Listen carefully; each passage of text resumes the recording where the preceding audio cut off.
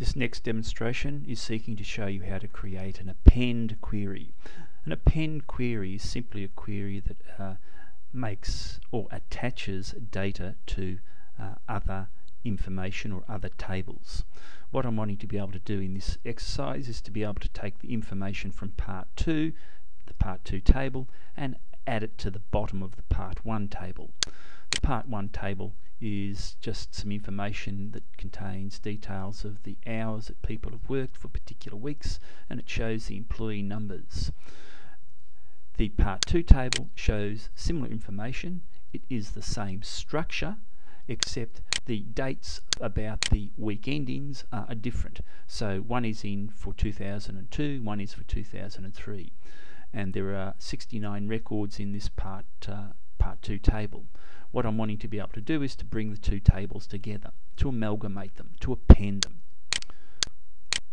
I'll go into the query section, open my query design screen and choose the part 2 table. Now is the table that uh, is going to be uh, the one that attaches to the bottom of the other that's first selected. I only select one table. I then choose query and I choose append. And I want to be able to select the table that's going to be uh, receive this information. In this case it's a part 1 table. I've just selected the options there rather than typing out the information. I then bring down the field names. Now I can do this uh, uh, two ways, but let's suppose I'm wanting to be able to just bring down or attach the employee number, the week ending, and the hours uh, numbers to the part 1 table. I'm not bringing down the ID number because there, there are common ID numbers in both of the tables.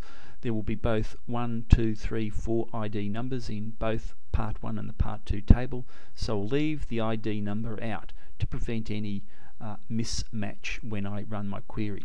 I check again just to see that uh, I've got my correct table that I'm going to add to, yes.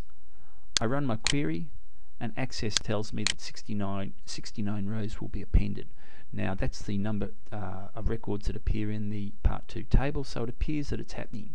If I go yes, notice there are no whistles and bells, Access doesn't come out and tell you that it's actually done the task. What I should do here is just to check this information or check the tables to see that it's worked.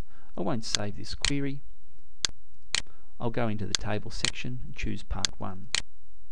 If I look at my week ending information for the first table, you can see here uh, the first table contains hours for 2002 and then we go down to 2003 or if I sort the records by employee number uh, you can see here for, for each of the weeks I've got uh, an hour for, uh, hours for the year 2002 and the hours for 2003 the append query. The last thing to remember is just to note that when you append data from one table to another, the structure of both tables should be identical.